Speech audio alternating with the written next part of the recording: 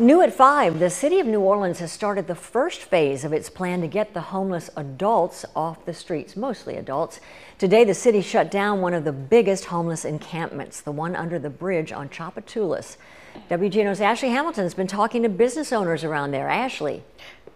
Susie, this is only the start of the city's goal to decrease homelessness along the streets of New Orleans. Business owners are happy about the news, but also want to make sure the city has a plan for the homeless.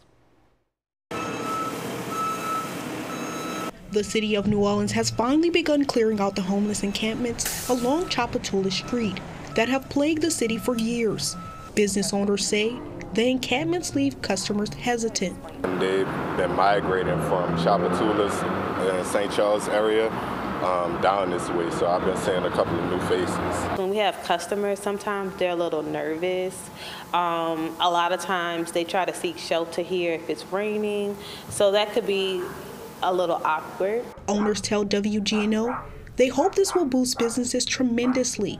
However, they hope the city keeps its promise they'll properly find housing for the homeless. As long as they have somewhere for them to go, it's, it's, it's really helpful on both ends. It's helpful for us as business owners, and it's going to be helpful for them, for them to get them off the streets. I'm feeling good about it. I'm especially happy that they'll be getting proper housing um, and the mental services or things that they need. I think this will be great for our business. It'll keep things clean, the trash. Once cleared, a portion of the encampment will be temporarily fenced and patrolled to prevent new settlers.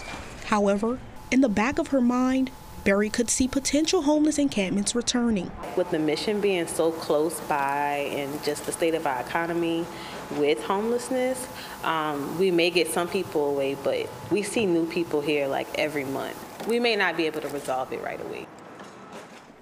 The city does not plan to give the location of the subsidized apartments, but have said that it is located in the city's inner core. Susie? Some really empathetic uh, business owners there that you talked to. We'll have to see if some of the homeless people do come back. Thanks, Ashley.